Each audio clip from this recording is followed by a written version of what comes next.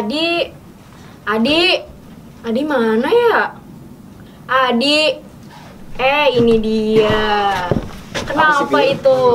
Kenapa nih mukanya kesel banget? Jadi gini Fir, aku punya masalah sama temenku. Hmm, Cuman dia nggak mau minta maaf padahal posisinya dia yang salah. Gimana kesel coba? jangan kesel dulu, jangan kesel dulu. Nggak enak kan diliatin sama sobat hits. Oh iya. Kita sapa dulu Hits sobat hits. Fir. Yuk. Halo Halo, sobat, Sobat hits. Hits. bertemu lagi dengan saya Firda. Dan saya Adi Mulia Dalam acara Yang Corner. tempat ngumpulnya Sobat Hits. Nah, kita udah nyapa Sobat Hits, tapi eh, muka Adi masih kesel nih. Kenapa kenapa? Bisa dijelasin Ya dikit masalah aja. tadi belum kelar dong, Fir. Masih kepikiran gitu Iya ya? dong pastinya. Ya udah, kalau gitu kita langsung panggil aja tamu spesial kita yang spesialnya ngalahin martabak. Mau nggak? Yang bisa nyelesain masalahnya Adi Ini dalam bener-bener sekejap. bisa nih, Hmm, Fir. nggak Ya percaya langsung nih, aja. nggak percaya nih. Langsung aja aja kita langsung. panggil Bapak Zain, ini dosen Fakultas Ilmu Dakwah dan, Dan Ilmu, Ilmu Komunikasi, Komunikasi UIN, UIN Jakarta. Jakarta. Assalamualaikum Pak Zain. Assalamualaikum Pak Zain. Iya. Silakan duduk Pak, Silakan, ya, duduk. permisi, ya. Iya. Bagaimana nih Pak kabarnya? Alhamdulillah sehat. Hmm. Ini ada nih Pak, teman saya mukanya dari tadi kesel banget nih Pak. Oh iya, dari wajahnya kelihatan memang. Aduh. Penuh dengan masalah. Dia katanya ini berantem sama temennya, tapi temennya nggak mau maafin Nah. salahnya dia nih Pak. Baik. Gimana tuh, Pak? Jadi memang ada hal yang menarik. Di dalam Al-Quran itu ternyata bukan meminta maaf, Iya. tapi diperintahkan memberi maaf. Memberi Oh, maaf. iya, Emang yang susah tuh memberi maaf memberi ya Pak ya. Jadi makanya meminta maaf itu kesatria, memberi maaf itu adalah yang mulia. Oh iya. Jadi, saya juga Adi hmm, Mulia, Pak. Adi mulia. Adi mulia, harus Jadi mulia. harapannya mulia, Iya. mulia Amin, jiwanya, Pak. mulia hatinya. Amin ya Rabbal Makanya di dalam surah Ali Imran Allah telah tegaskan ayat 134 ciri-ciri orang yang diberikan oleh Allah adalah surga Iya. karena dia bertakwa. Apa syaratnya? Di antaranya memberi maaf wal afina 'anil nas. Hmm. Ternyata wallahu yuhibbul muhsinin. Allah senang kepada orang-orang yang melakukan amal kebaikan. Memberi maaf termasuk dari perbuatan kebaikan. Nah, jadi gitu di kalau kamu punya salah, kamu minta maaf. Kalau kamu ada yang minta maaf, kamu juga harus memberi maaf ke dia. Oh, Oh, ya jadi Pak. aku nggak usah nungguin nih Fir dia minta maaf tapi Ya aku harus enggak lah, maaf. itu yang mulia ya Pak duluan ya. Tapi sebelum kita lebih jauh nih Pak, kan kita mau bicara maaf dan memaafkan. Kalau di Islam sendiri arti kata maaf itu seperti apa sih Pak? Maaf itu di dalam Al-Quran ada al-afu. Hmm. Maka diperintahkan dalam surah Al-A'raf ayat 109, "Khudil afu." Ambillah, jadilah, gitu kan? Pemaaf. Pemaaf tadi itu yang menarik memang kalau kita memberi maaf itu kalau udah levelnya tinggi, statusnya tinggi, ada kemungkinan besar gengsi, Iya. ya kan? Iya. Jangan kan memberi, mau minta maaf juga Itu sifat gengsi. manusia ya, Sifat Pak? manusia. Siapa dia? Semester baru dua, saya baru semester tujuh. Iya. Dia masuk dua itu dua belas gitu ya. ya kan? Kalau udah uangnya banyak, gitu kan dan sebagainya, dia sebagai atasan.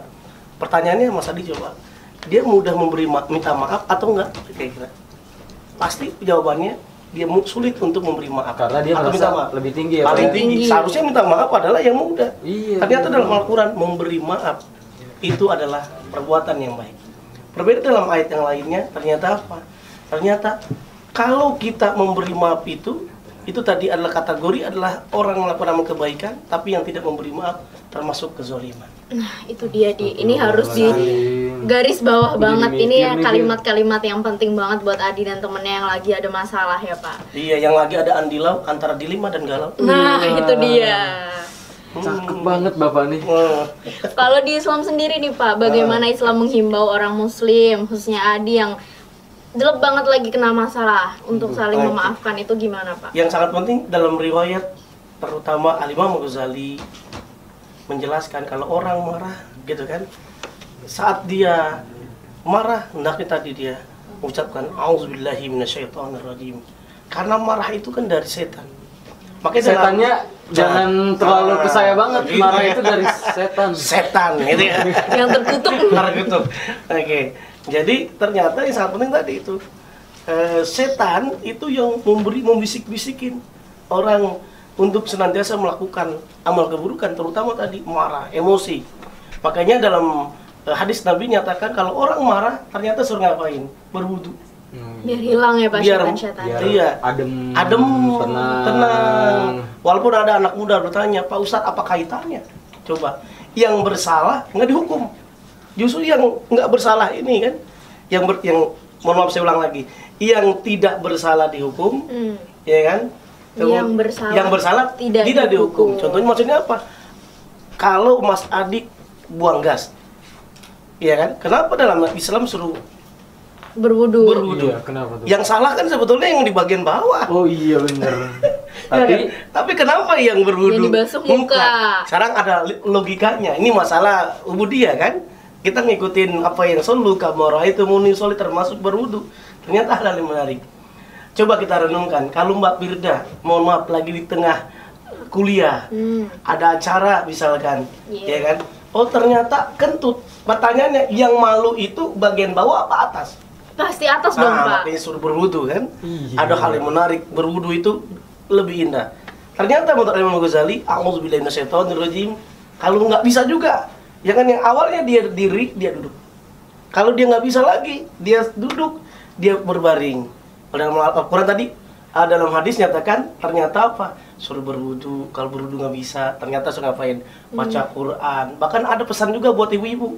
Kalau ibu-ibu, kan ini kan calon ibu-ibu nih kan? Sobat hit nih kan calon ibu bapak kan? ibu-ibu bapak-bapak. Nah, Ibu-ibu. bapak. Ini ibu juga ya, Pak? Nah, calon ibu-ibu dan bapak ternyata apa? Ada yang menarik. Kalau suami marah sama istri, istri marah sama suami, harapnya tadi dia apa?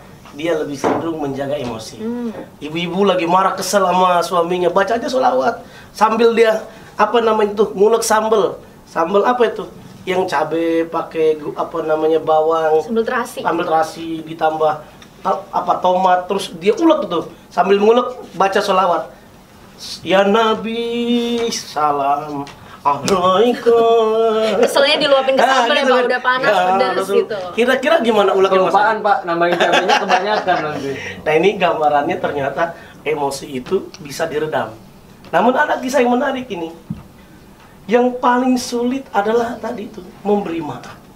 Oke Sobat Hits, karena sekarang kita sudah di bulan Ramadan dan sebentar lagi kita akan tiba di Hari Raya Idul Fitri Kami segenap yang Karner ingin mengucapkan kata maaf kepada Sobat Hits semua Apabila tingkah laku dan perkataan kami kurang berkenan di Sobat Hits semua Selamat Hari Raya Idul Fitri Minal aidin wal faizin. Mohon maaf lahir dan batin. Nah, udah lega juga ya dia. Kita udah minta maaf ke Sobat. Hits semua Semua ada solusinya tadi. dari Bapak, dari Bapak ini. Ini. Spesial Banyak kan? Nggak bohong Spesial kan? banget. Tadi nggak percaya nih. Jadi gimana di masalah kamu udah Wah, kelar kan pasti? Udah bener-bener beres, Fir. Udah dapat solusi yang Udah luar biasa solusi dari Bapak Zen ini ya. Hmm. Tapi pas kita tadi Apalagi? ngomong, aku kepikiran satu masalah aku yang belum Hah? kelar, Dedi. Emang kamu punya masalah tentang permintaan maaf? Masalahnya gimana tuh? Aduh, itu masalah yang bagi aku luar biasa banget nih. Jadi gini, j- tunggu dulu, jangan dulu dibahas. Hmm, Karena ada yang melewat dulu nih. siapa tuh? Nah, setelah ini baru kita kembali lagi dan Hmm. bakalan lebih seru lagi. Jadi untuk sobat hits jangan ke mana-mana, tetap, Tetap di Young Corner, tempat ngumpulnya Sobat Hits.